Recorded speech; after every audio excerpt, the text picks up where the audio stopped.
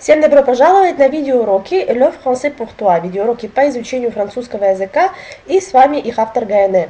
Сегодня мы продолжаем нашу прошлую тему. Кто смотрел прошлый урок, вы явно в курсе. Мы рассмотрим слова-амонимы, которые звучат одинаково, но пишутся по-разному.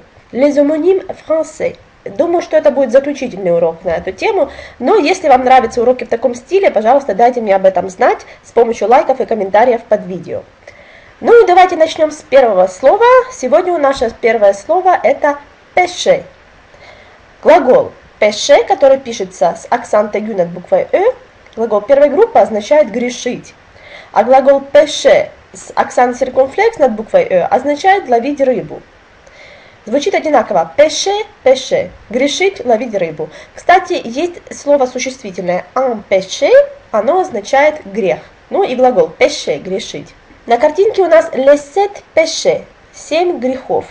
Sept péchés capitaux, семь основных грехов, семь смертных грехов, говорим мы. Да? И тут, кстати, они все прописаны. Если хотите, увеличьте и переведите, как по-французски будет все семь смертных грехов. Ну и наш пример ниже. Mon père, j'ai péché contre toi. Отец, я согрешил перед тобой. Наверняка какой-то отрывок из Библии. В общем, глагол péché грешить. И следующий глагол pêcher – ловить рыбу. Пример. Il aime pêcher printemps. Он любит ловить рыбу весной. Но если вы услышите эту фразу, можно вполне подумать, что он любит грешить весной. Почему бы и нет? Итак, pêcher – грешить, pêcher – ловить рыбу. En pêcher – существительное означает грех. Следующее слово – это слово une cour и un cours. Разный род пишется чуть-чуть по-разному, звучит одинаково. Cour женского рода означает двор, либо суд. Смотрим примеры. Les enfants sont dans la cour. Дети во дворе. Или еще один пример. La cour suprême. Верховный суд. Так что имейте в виду, есть два основных, абсолютно разных значения этого слова. Cour – это двор, и также это суд. И есть достаточно много тематических устоявшихся фраз судебных, да, где может фигурировать слово cour. Ну и переводиться чуть-чуть по-разному, но понятно, что это все связано с юриспруденцией. И, скорее всего, вокруг слова суд что-то вертится. Итак, и слово cours, вы уже, наверное, его знаете, это урок. Есть слово une leçon, это тоже урок, но cours это больше означает как пара в университете, да, cours. Итак, наш пример. Nos cours de français sont très courts. Наши уроки французского очень короткие. И, кстати, опять у нас появляется новый амоним. Как будет короткий по-французски? Короткий будет court с буквой Т на конце. Звучит точно так же. Court – короткий, courte – короткая. Так что тут у нас уже появилось три амонима. Une cour – это двор или суд. Un cours – это урок. А прилагательное court – это короткий. Nos cours de français sont très courts. Наши уроки французского очень короткие. Следующее наше слово – это mal. Значит, un mal, с тем, как оно пишется слева, в виде существительного, означает зло. Если мы возьмем слово mal в виде наречия, означает оно плохо, mal. И справа есть еще одно значение слова «амаль», которое пишется с акцент циркумфлекс над буквой «а» и с буквой «э» на конце, означает оно «самец», но звучит оно все одинаково. «Маль», «амаль», «амаль». Смотрим со словом «зло» и со словом «плохо». Пример. Un enfant ne fait pas la différence entre le bien et le mal. Ребенок не знает разницы между добром и злом. Слово добро это будет le bien. Слово зло будет le mal. А при всем при этом слово хорошо, как наречие, как хорошо, будет просто bien, а слово плохо, как плохо, будет mal. Ну, на всякий случай говорю вам. И э, следующее значение слова un mal самец. На фотографии у нас это как билборд нового продукта, новых духов, который называется Le Beau Mal. И у нас пример сразу же ниже. Le Beau Mal est le nouveau parfum de Jean-Paul Gaultier. Красивый самец или прекрасный самец – это новый парфюм от Жана Поля Готье. Итак, mal – это зло, mal – это самец. Ну, еще слово mal означает плохо.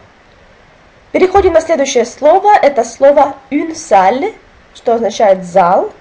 И слово саль в виде прилагательного означает грязный, либо грязная. Пишется одинаково саль. Смотрим примеры с залом. On est entré dans la salle de cinéma. Мы зашли в кинозал. Ну, слово «зал» во всех его значениях это будет une salle. И пример со словом «грязный» – «саль». Ta voiture est trop sale, il faut la laver. Твоя машина очень грязная, нужно ее помыть. Итак, une salle – это зал, и слово «саль» также означает «грязный», «грязная». Переходим на следующее слово, это слово. Une date с одной буквой «т» означает дата, число.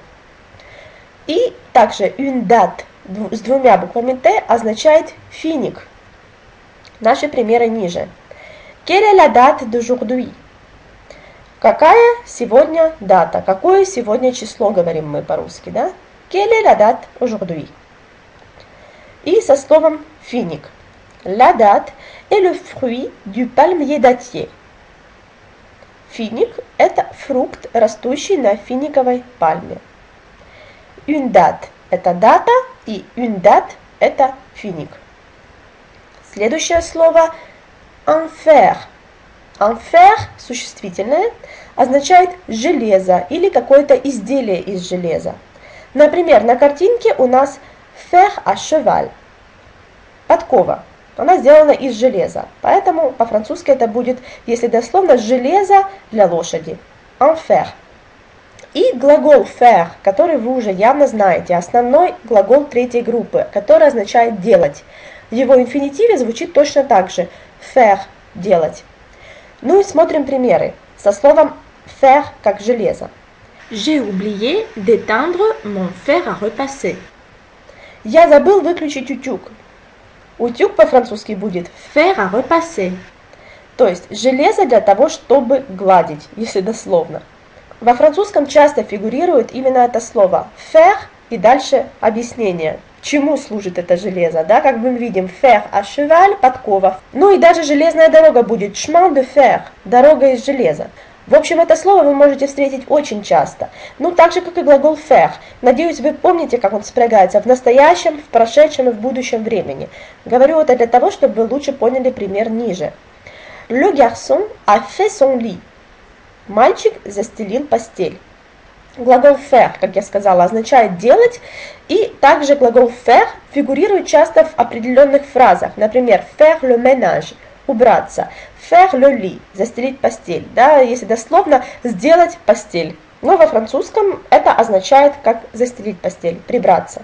En faire – железо или изделие из железа, и глагол faire означает делать. Следующее слово, очень богатое слово на амонимы, это слово ver. И тут смотрите внимательно.